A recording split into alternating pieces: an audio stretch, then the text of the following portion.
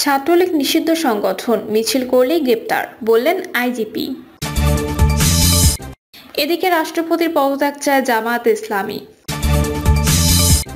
জানাব নির্বাচনের বয়স সীমা নিয়ে অনিশ্চয়তা, কি বলছে বিভিন্ন মহল। এবং সর্বশেষ জানাব কোনো দলকে ক্ষমতায় বসাতে ছাত্র জনতা আন্দোলন করেনি, বললেন ভিপি নূর। শুনছিলেন সংবাদ শিরোনাম, এবারে বিস্তারিত। ছাত্রলীগ নিষিদ্ধ সংগঠন মিছিল করলেই গ্রেপ্তার বললেন আইজিপি। বাংলাদেশ পুলিশের মহাপরিদর্শক ময়নুল ইসলাম বলেছেন, ছাত্রলীগ এখন নিষিদ্ধ সংগঠন। তাদের কোনো রাজনৈতিক অধিকার নেই। তারা কোনো মিছিল মিটিং করতে পারবে না। করলে তাদের বিরুদ্ধে আইনি ব্যবস্থা নেওয়া হবে। যারা মিছিল করেছেন, তাদেরকেও খুঁজে বের করে আইনের আওতায় আনা হবে। আইজিপি বলেছেন, ছাত্রলীগের অতীত কর্মকাণ্ড দেখে নিষিদ্ধ করা হয়েছে। তাদের যে অন্যায় অপকর্ম রয়েছে, অবশ্যই সে কর্মকাণ্ডের বিচার করা হবে। তদন্ত হবে, আইনি ব্যবস্থা নেওয়া হবে। আপনাদের যে ব্যাপারে আশ্বস্ত করছি বিগত সরকার আমলের শাসন ব্যবস্থাকে স্বৈরাচারী শাসন ব্যবস্থা উল্লেখ করে আইজিবি বলেছেন ফ্যাসিস্ট সরকারের আমলে বাংলাদেশ পুলিশ জনগণের কাঙ্ক্ষিত সেবা দিতে পারেনি। পুলিশ স্বাধীনতা যুদ্ধে প্রথম প্রতিরোধ গড়ে তুলেছিল। করোনার সময় পুলিশের মানবিক কার্যক্রম প্রশংসিত হয়েছিল। বর্তমানে আমরা জনগণের আকাঙ্ক্ষার বাস্তবায়ন করতে পারিনি, তাই আমরা জনগণের আকাঙ্ক্ষার পুলিশ গঠন করতে চাই। আইজিপি বলেন, পুলিশ তাদের দায়িত্ব অনুযায়ী কাজ করবে। আমি পুলিশকে বলতে চাই, আপনারা কোনো রাজনৈতিক দলের নেতাদের মাধ্যমে ব্যবহার করবেন না। আর রাজনীতিবিদদের বলতে চাই, আপনারা দলীয় কাজে পুলিশকে ব্যবহার করবেন না। রাষ্ট্রপতির পদত্যাগ চায় জামাত ইসলামী। রাষ্ট্রপতি মোহাম্মদ শাহাবুদ্দিনের পদত্যাগ চায় জামাত ইসলামী। এমনটা মন্তব্য করেছেন দলটির সরকারি সেক্রেটারি।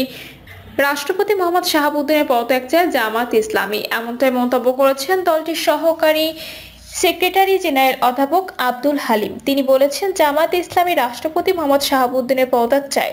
আমরা আশা করি অন্তর্বর্তীকালীন সরকার যত দ্রুত সম্ভব মৌলিক সংস্কার শেষ করে নির্বাচন দেবে। আব্দুল হালিম আরও বলেন, বিগত পনেরো বছরে আওয়ামী লীগের আমলে জামায়াতের এগারো জন শীর্ষ নেতাকে হত্যা করা হয়েছে। তিরিশ জন ক্রস ফায়ারের শিকার হয়েছেন। এক লাখ নেতাকর্মীর বিরুদ্ধে মামলা হয়েছে।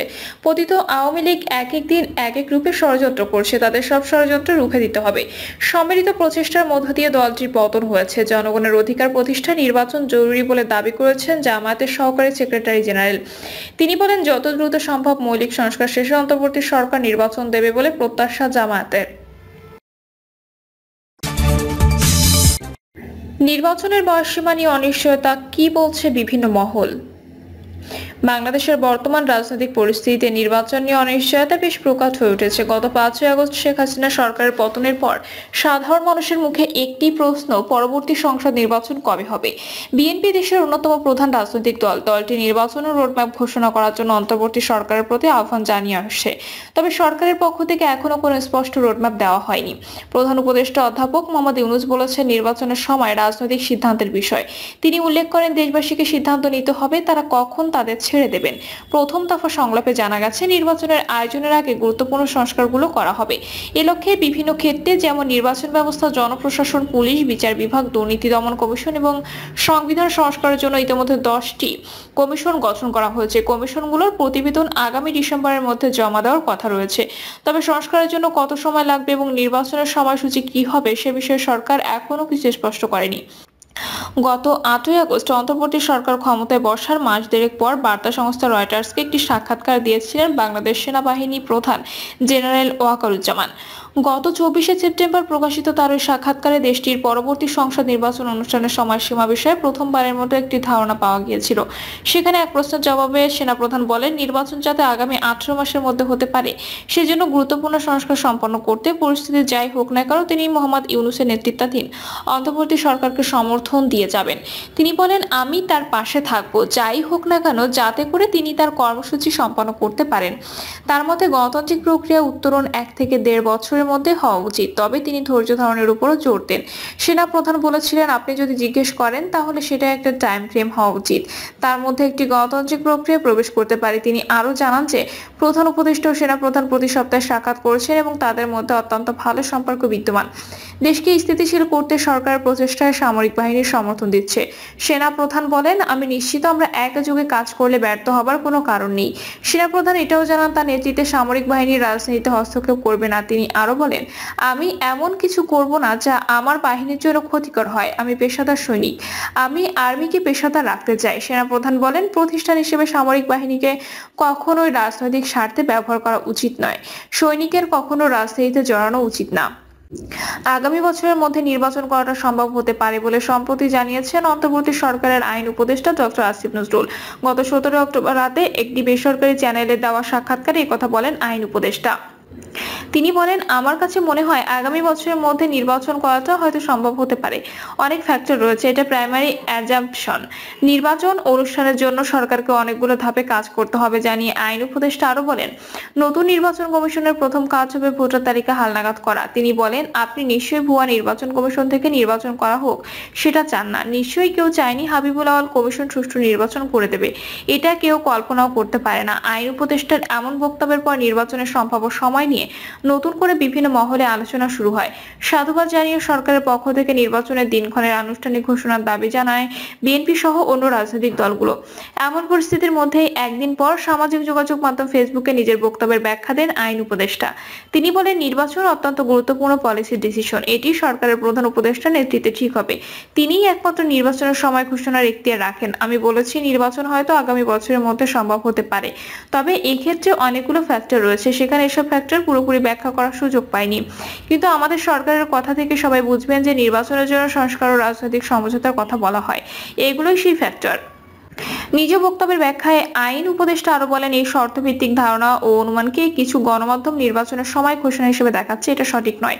নির্বাচন নিয়ে এত আলোচনা হতে দেখা গেলেও এর সময়সীমার বিষয়ে রাজনৈতিক দলগুলোর মধ্যে মতপার্থক্য লক্ষ্য করা যাচ্ছে।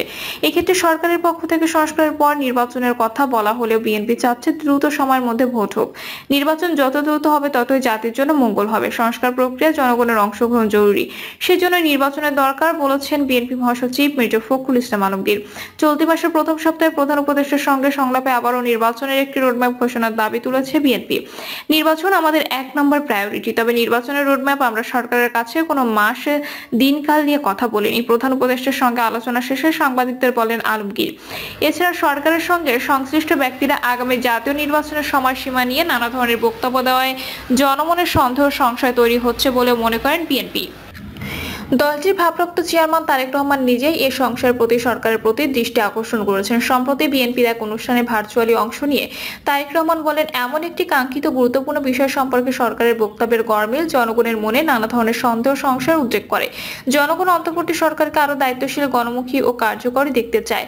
বিএনপি চেয়ারপারসন, উপদেষ্টা পরিষদের সদস্য জহির উদ্দিন স্বপন বলছে নির্বাচন নিয়ে সরকারের যে কোনো রোডম্যাপ নেই। সেটি উঠে এসেছে সরকারের সংশ্লিষ্ট গুরুত্বপূর্ণ ব্যক্তিদের ভিন্ন ভিন্ন বক্তব্যে। তারেক রহমান জনগণের সংশয়কে তুলে ধরেছেন, কারণ সরকার তাদের টার্গেট এবং নির্বাচনের রোডম্যাপে এখনও ঠিক করতে পারেনি। এই কারণে এক একজন এক এক ধরনের কথা বলছেন। আমরা মনে করি সরকারের এই অস্পষ্টতার কারণে জনমনে উদ্বেগ তৈরি হচ্ছে, বলেন স্বপন। অন্যদিকে জামাত ইসলামী নির্বাচনের আগে সংস্কার কার্যক্রম বাস্তবায়নে জোর দিয়ে আসছে। সম্প্রতি সাংবাদিকদের দলটির আমির ডক্টর শফিকুর রহমান বলেন, নির্বাচনকে অবাধ সুষ্ঠু অর্থবহ করার জন্য নির্বাচন সংশ্লিষ্ট কিছু প্রতিষ্ঠানের ব্যাপক সংস্কার প্রয়োজন। সংস্কার ব্যতীত নির্বাচন সুষ্ঠুভাবে সম্পন্ন হতে পারে না। আইন, বিচার সংসদ নির্বাচন ব্যবস্থা সহ রাষ্ট্রের সংস্কারে অন্তর্বর্তী সরকারের কাছে দশ দফা প্রস্তাবও তুলে ধরেছে জামাত ইসলামী।